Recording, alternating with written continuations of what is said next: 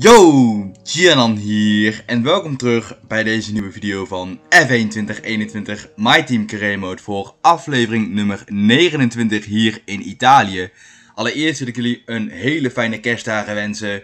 Het is namelijk eerste kerstdag en dat betekent natuurlijk officieel kerstmis hier in Nederland. Dus daarvoor mijn wensen natuurlijk. Heb je de vorige aflevering gemist? Zal ik die eerst even terugkijken voordat je deze gaat zien?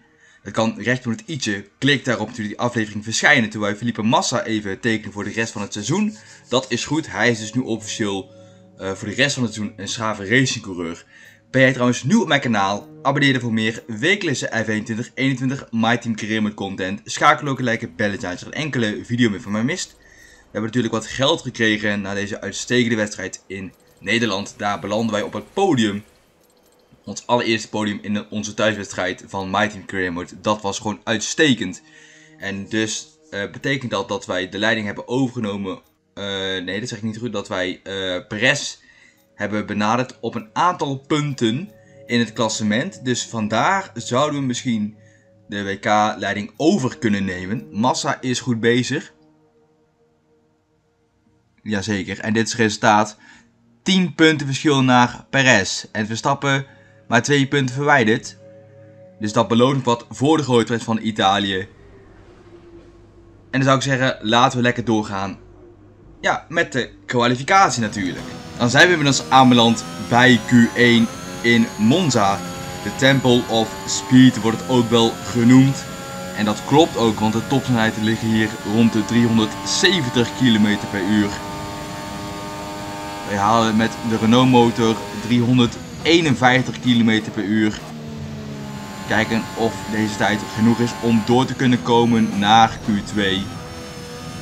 Ik wil een klein beetje gas mee. Lewis Hamilton zet de snelste tijd in met een 1.20.5. En wij komen daar aan tot een 1.20.2. Drie tienden sneller. Uitslag van Q1. Wij dus naar een P1 Verstappen op 2 tiende. Alonso knap naar P3 en Massa door naar Q2 op 7 tiende. Dat is goed om te zien. Giovinazzi door in zijn thuiswedstrijd. Russell niet door. Lund gaat niet door. Latifi niet door. Eilert, Schumacher en Maatspan. Dat zijn de afvallers van Q1. Wij dus met één setje door. De rest, behalve Hamilton, door met twee setjes. Q2 dan. Op de softbanden gaan wij kijken wat dit gaat worden. Hopelijk houdt het hiermee dan ook met één run in Q2. We zijn als enige de baan op. Noteren paars in sector 1. Komen aan bij Parabolica. Klein beetje onderstuur. Maar het is geen probleem. En dat is een P1 met een 1.19.3. Uitslag van Q2. Wij zijn een seconde sneller dan Charles Leclerc. En Felipe Massa heeft het niet gehaald. Max Verstappen haalt het ook niet. En dit kan wel eens een cruciale wedstrijd worden voor het wereldkampioenschap. Want Verstappen en mijzelf en Perez strijden om het WK. Maar Max niet door naar Q3. Interessant. We zijn aanbeland bij de top 10 qualifying. En gaan kijken wat het gaat worden. Nemen die eerste twee bochten heel goed. Zijn er weer laat naar buiten gegaan voor onze enige run in Q3 nemen die bocht heel kort om zo min mogelijk tijd te verliezen. Zijn 17e sneller dan Fernando Alonso in sector 1. Paars dus. We komen aan bij Parabolica.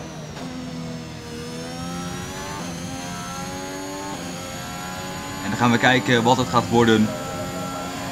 En dan komen wij tot de pole position met een 1.19.5. Wat is de uitslag? Wij dus naar pole position op 19e van Sergio Perez. Hij staat dus als tweede Charles Leclerc voor Ferrari knap naar P3, Norris 4, Bottas 5, Hamilton 6. Ook cruciaal voor het wereldkampioenschap. Alonso 7, Ricciardo 8, Gasly 9 en Ocon 10. Dat is dus de grid. We gaan ons nu opmaken voor carrière aflevering 29 hier in Italië. It's time for the Italian Grand Prix once again, here at the beloved and iconic Autodromo Nazionale di Monza. With the lowest downforce and drag of any circuit in the season, expect to see drivers making the most of the slipstream effect here today. With top speeds reaching 215 miles per hour, only a few places can challenge Monza's crown as the fastest circuit in F1. Hard braking zones going into the three chicanes make up the majority of the 11 corners on this 3.6 mile circuit. And just in case the slipstream wasn't enough, two DRS zones will help encourage some closer action.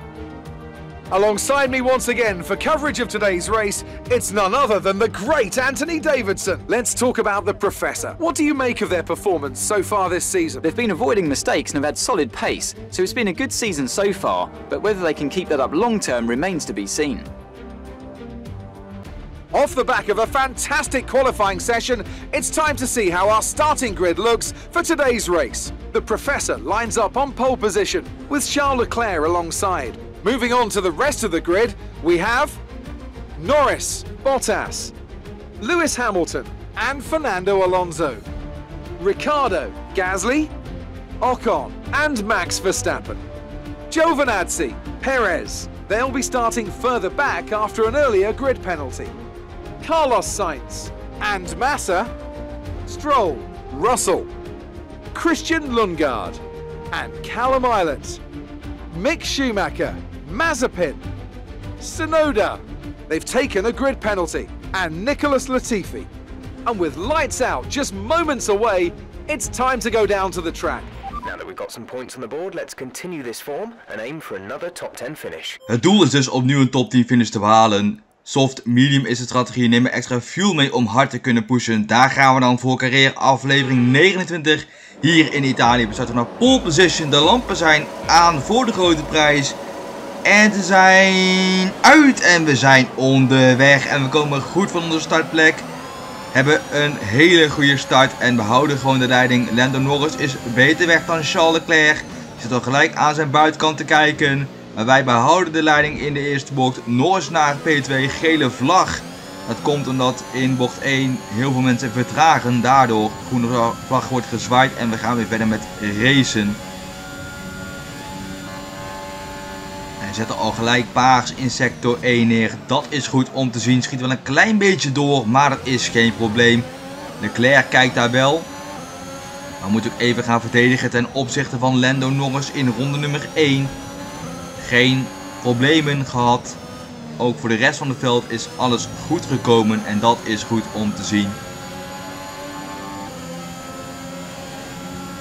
Dan zit Charles Leclerc daar wel te kijken aan die buitenkant, maar daar is geen ruimte. En wij behouden gewoon de leiding. Dan hierbij uitkomen. Leclerc zit wel te kijken, maar heeft hij de snelheid? Nee. We hebben net tot meer topsnelheid dan de Ferrari met de overteken op ingeschakeld. De Leclerc zit er heel dicht op en we gaan zometeen ronde nummer 2 alweer in. We zetten de snelste raceronde neer met een 1.25.3. Charles Leclerc kijkt, ook Lando Norris valt aan voor de leiding. Leclerc naar de buitenkant, maar wij duwen hem daar gewoon die curbzone op. Norris dus naar P2. Zitten in ronde nummer 3 van de wedstrijd. Nog steeds Lando Norris in mijn kielzorg. Kijkt daar voor een aanval en is er voorbij en heeft de leiding veroverd. Maar wij vallen gelijk weer terug aan. Duwen Norris daar compleet wijd. En dat is nog steeds P1 in ronde nummer 3. Gat naar Norris is inmiddels opgelopen tot een seconde. 1,1 seconde. En dat willen wij nu alleen maar uit zien te breiden. Charles Leclerc voor Ferrari naar een podium, dat gat is 1,4 seconden. Dus Norris heeft ook geen DRS.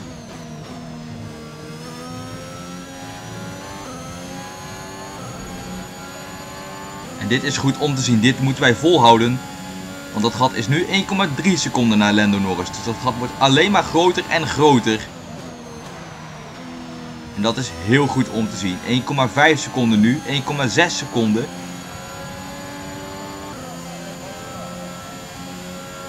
En we zetten paars in sector 3 neer. 14e komen wij tekort op onze verbetering van mijn racehonden. Gat is 1,6 seconden. Herhaling van de start natuurlijk in Italië. Wij vertrokken vanaf pole position. Charles Leclerc op P2. De lampen waren uit en we waren onderweg. En we waren gewoon goed van onze startplek. Verstappen wordt er al gelijk geblokkeerd door een aantal auto's. Kan er ook niet voorbij, zie ik.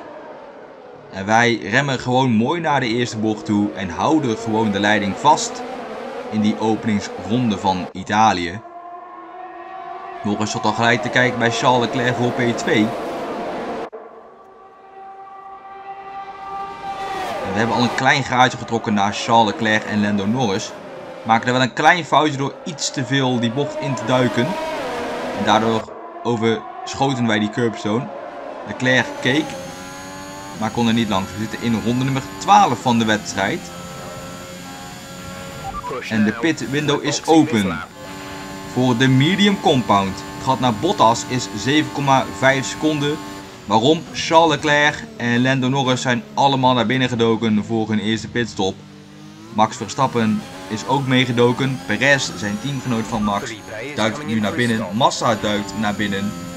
Bottas naar de medium compound. Perez naar de medium compound. Giovinazzi naar de medium compound. En Massa gaat ook naar binnen. Rijdt nu op een podiumplek.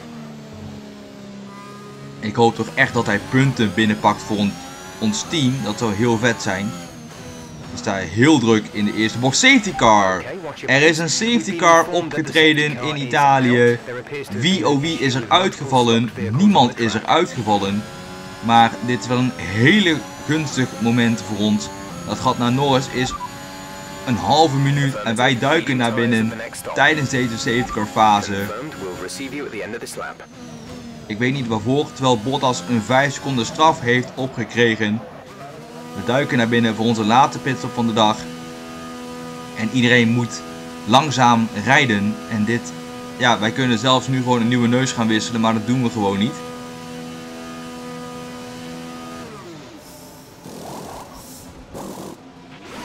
...2,3 seconden heeft de pitstop geduurd. En de safety car wacht bij les... Nee, dat is geen les 01, dat zeg ik nou weer. Wat is, uh, wat is dat eigenlijk? Weet ik zo niet. Maar de safety car is even verderop aan het wachten bij ons. Voor ons bedoel ik. En Norris, kijk maar, dat gat is nu 10 seconden. En ook al was er geen safety car, dan nog hadden we gewoon de leiding in handen gekregen. En Bernd Mailander gaat nu voor ons rijden. Wij mogen de safety car dus niet inhalen. En moet er dus voor zorgen dat we deze wedstrijd controleren. Met nog 13 rondes te gaan in de wedstrijd. Vond je deze video nou leuk? Beloon het dan zeker met een like. Ben jij trouwens nieuw op mijn kanaal? Abonneer je voor meer wekelijkse F1 2021 My Team content. Schakel ook een like belletje als je een enkele video meer van me mist. Reageren wat er beter kan moeten worden op deze aflevering. Volg me even op sociale media, mijn gebruiksnaam in de beschrijving. Laten we pushen naar die 100 abonnees. We hebben 96 abonnees nu in totaal op dit moment. Dus laten we 2022 goed beginnen. Uh, door 100 abonnees te halen. Dat zou vet zijn als we dat kunnen halen. Dus ben jij nieuw? Abonneer er voor meer zou ik zeggen. En schakel ook gelijk het belletje aan. Zodat jij altijd op de hoogte blijft wanneer er een nieuwe video van mij verschijnt. Safety car duikt naar binnen in ronde nummer 15. En wij gaan de pace bepalen van het veld. We gaan gelijk vertragen. En Norris moet hier gewoon even oppassen wanneer wij op het gas gaan. Want hij mag niet te vroeg gaan. Anders overtreedt hij een regel. En we doen het gewoon lekker rustig aan.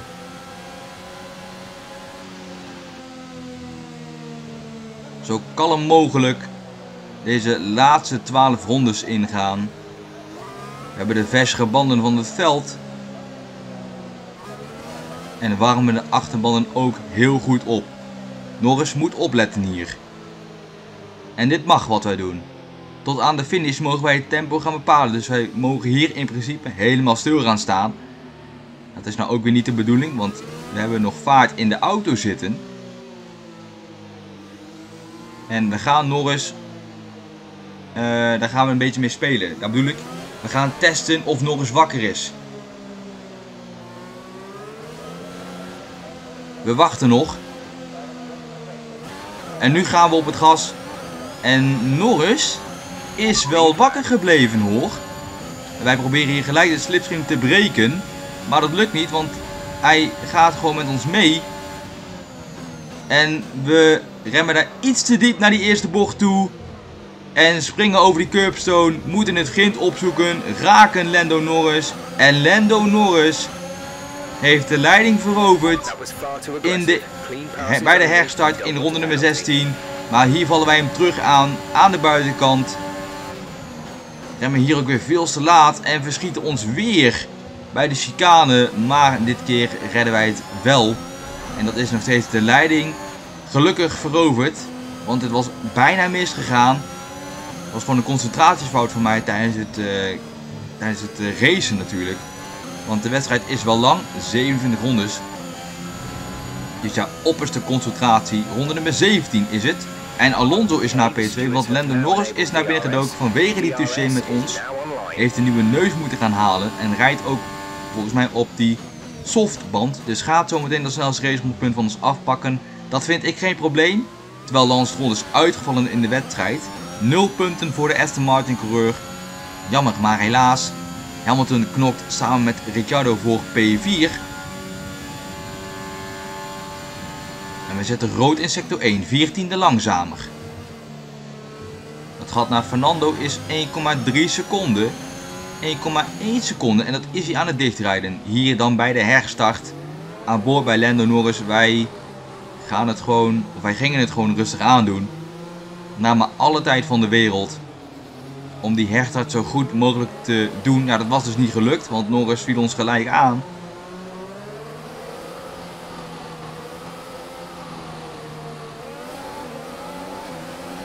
En dan denk ik hier Norris te hebben, alleen dan duikt hij in mijn slipstream.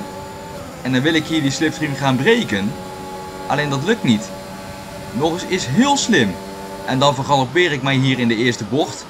Schiet ik hier gewoon te ver door, over die curbzone, raak net niet Lando Norris, wil ik hier terugkomen.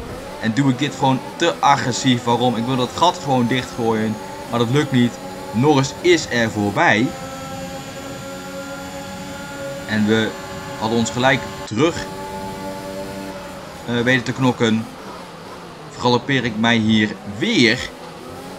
Maar dit keer kan Norris er niet voorbij. Ook Fernando Alonso kijkt hier voor P2. Lukt dat Fernando? Net niet. Hij zat er wel heel dicht op.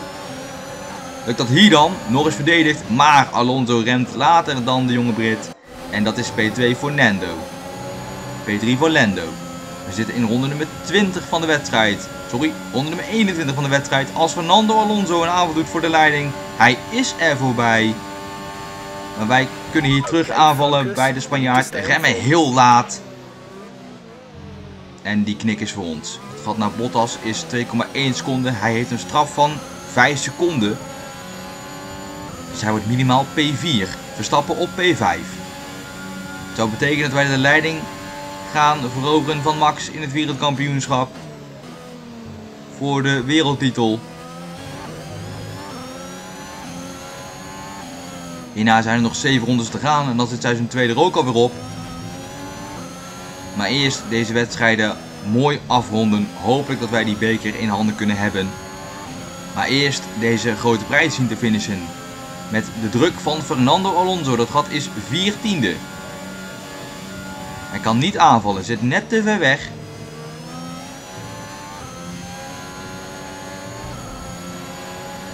We hebben wel een slechte lijn genomen hoor. Door Ascari. En gaan zo naar Parabolica. Norris rijdt als ene laatste rond het veld. Ik zie hem op de minimap en hij is nu bij sector 2. We gaan ronde nummer 22 alweer in. Dat gat naar Fernando is 15e.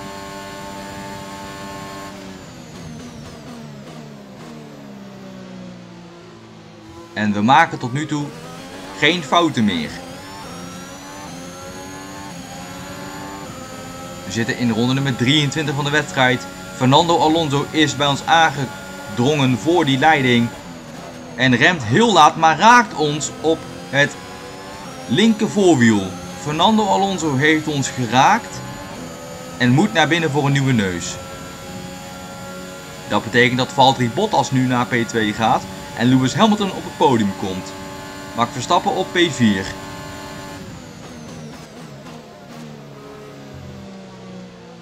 Kijken wat Valtteri Bottas doet. Gele vlag. En dat is Daniel Ricciardo die stilstaat. Ricciardo uitgevallen in de grote prijs van Italië. 0 punten voor de Australiër. Ook 0 punten voor McLaren, want Norris rijdt helemaal achteraan. Een drama weekend voor het Britse team. Wij moeten de druk van Valtteri Bottas nog even zien te weerstaan. En Ocon heeft al snelste punt van ons afgepakt namelijk. Logisch, want hij rijdt op verse softbanden. Sorry, Alonso heeft al snelste punt afgepakt van ons. Niet Ocon, maar Fernando Alonso. En Bottas zit hier te kijken. In de DRS-zone, kijkt naar die binnenkant. Maar dat lukt niet. Wij houden de auto zo breed mogelijk als het kan.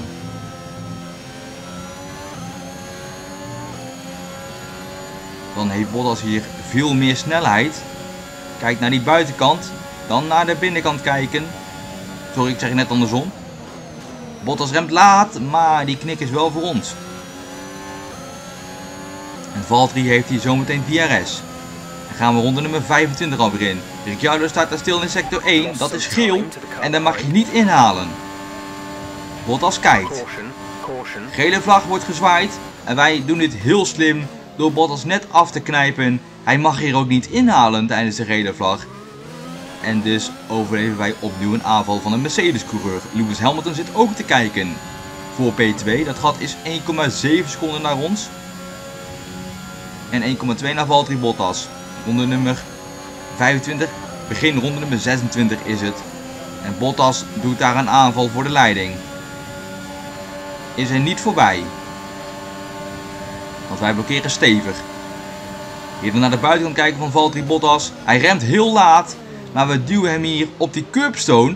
Maar dan zit hij daar nog. Hij geeft niet op. En wij springen wat op die curbstone. Hetzelfde wat met Max gebeurde en Lewis. Dat gebeurt nu met mij en Valtteri. Opmerkelijk. Voor de leiding in de wedstrijd. Nederlander en een uh, Mercedes coureur. In bocht nummer 2 gaat bijna mis. Terwijl wij hier ook even een fout maken. Want we hadden iets te veel curb meegepakt. Daardoor werden wij gewoon gelanceerd. Maar dat hebben wij mooi weten te redden in de ene laatste ronde van de wedstrijd. Verstappen op P4. DRS hier voor Lewis Hamilton. Dat gat is 2 tiende. Minder dan een tiende. Hij zit daarnaast en is er voorbij. Maar we remmen hier als laatste. En die bocht is voor ons. En Hamilton, dat gat is nu een seconde. Dus wij rijden nu wat van Lewis vandaan. Dit is in de herhaling van ronde nummer 24. Bottas zit hier te kijken naar die binnenkant, lukt niet. Dan naar de buitenkant kijken, lukt wel. Daar is wel weinig ruimte hoor. Maar deze knik is dan wel voor ons. En dan zit ook hier Lewis Hamilton volgens mij aan te dringen. Bottas heeft hier weer overteken op ingeschakeld met DRS. Meer topsnelheid voor de Mercedes coureur dus.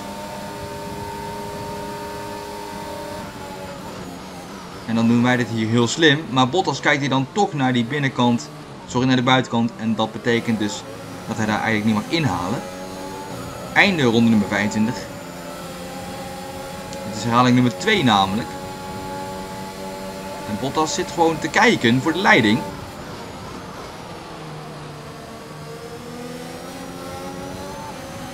Bottas heeft een aantal momenten overstuur. Komt door de dirty air. Zit hij hier wel heel dicht op.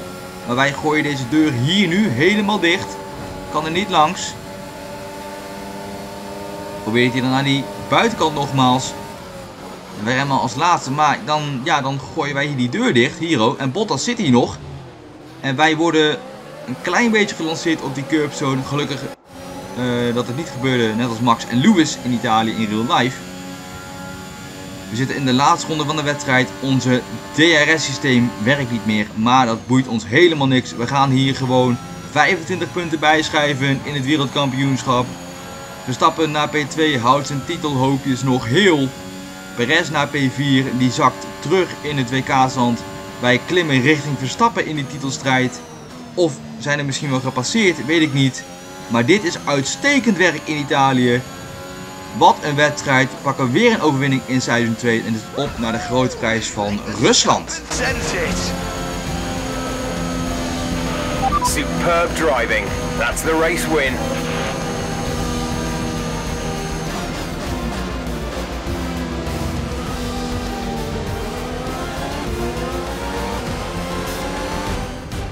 They made great use of the clear air today then and didn't allow anyone to exploit the slipstream behind them. What a great win here at Monza. Talk to me, Ant. What was it that set them apart from the competition today? Without a doubt, the safety car changed everything today. The key to their success was keeping calm and reacting to the situation quickly. We've seen teams in the past throw away wins because they were too hesitant, but here they were decisive and that's allowed them to take the advantage.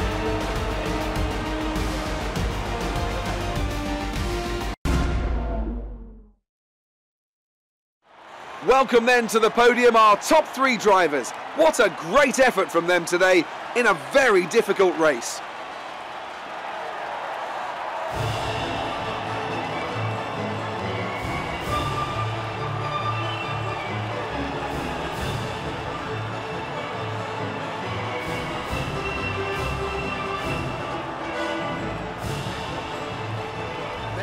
Nou, hier we dan dus de uitslag van de wedstrijd. Wij winnen dus de grote van Italië. Max Verstappen naar P2, Lewis Hamilton naar P3, Perez 4, Yuki Tsunoda knap naar P5, Sainz 6, Massa onze teamgenoot naar P7, Yuki Tsunoda geeft driver op de D, Ocon 8, Gasly 9 en wij nemen de leiding over. 3 punten verschil met Perez, 5 punten verschil met Verstappen. Dus dat wordt nog wat voor de laatste resterende races in seizoen 2 voor die wereldtitel. 103 punten verschil naar Red Bull Racing, dat kunnen we niet meer dichten helaas. Maar dat geeft niks. Gasly dus 9 en Leclerc op P10. Alonso pakt als snelste raceronde. En twee uitvallers Ricciardo en Lance. Maar goed, ik ga deze video afronden mensen. Ik hoop dat jij genoten hebt van deze video. Heb jij genoten, beloon dan zeker met een like. Ben je trouwens nieuw op mijn kanaal? Abonneer je voor meer wekelijkse F1 2021 My Team Career content. Schakel ook een like op als je enkele video van me mist. Laat de video zijn leuk vond, dislike hem als jij hem niet leuk vond. Volg me even sociale media en gebruik hem in de inschrijving. Nogmaals, fijne feestdagen, geniet van je kerst. Uh, maak wat moois van. Ga lekker met familie eten. Uh, ja, voor mijn part. Uh, ga gourmetten, ik noem maar wat. Al met al, hele fijne kerstdagen, hele fijne feestdagen. Alvast een gelukkig nieuwjaar. Ik weet niet of er na de, kerstdagen nog een nieuwe video komt. Misschien wel, misschien niet. Ligt eraan of ik tijd heb. Maar goed, dit was het journal mensen. Tot de volgende keer bij F21 21 My Team Career Mode. Ga verder in Rusland.